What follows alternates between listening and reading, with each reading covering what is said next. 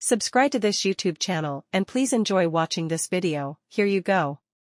Terence Crawford has been calculative in enforcing his status of mandatory challenger to the WBO light middleweight title held by Tim Tszyu, according to Chris Algieri.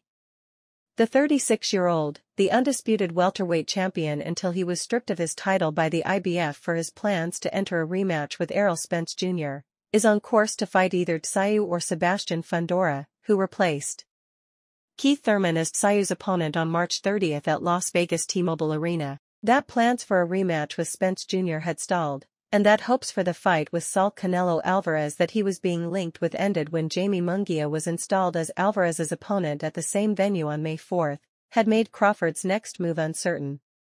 He has since become part of the narrative of a significant title fight, and the retired Algieri told ProBox TV, I see this as a power play, Crawford. You have a younger guy in Tim Tszyu. He has a title, is younger, and has to move up a weight class, Crawford. Crawford's problem was that he didn't have a dance partner. There were no big fights for him out there. We were talking about who he should fight next. Guys like me were saying, hey, fight Tim Tszyu. I think it is a great fight. He gets to fight for another title, and if he wins, that is a world title in his fourth weight class. But it is a very tough fight. There were no big fights for him out there. We were talking about who he should fight next. Guys like me were saying, hey, fight Tim Tszyu. I think it is a great fight. He gets to fight for another title, and if he wins, that is a world title in his fourth weight class. But it is a very tough fight.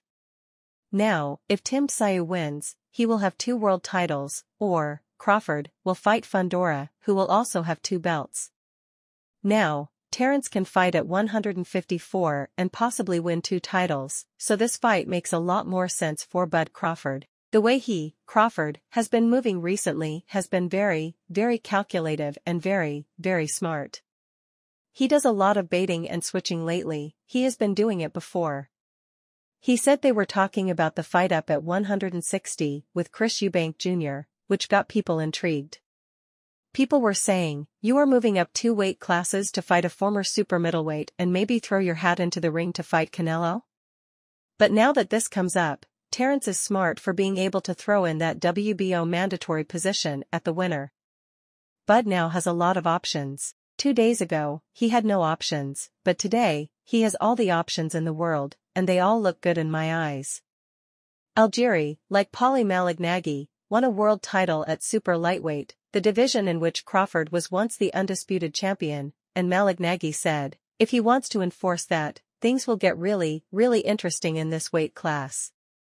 As I have said previously, we already have a good, fun fight on the undercard, which is, Brian Mendoza vs. Sergey Bohachuk, for the WBC mandatory position. The winner of the main event becomes the WBO and WBC champion, Mendoza vs Bohachuk is for the WBC mandatory position, and now Terence Crawford is in for the WBO mandatory position.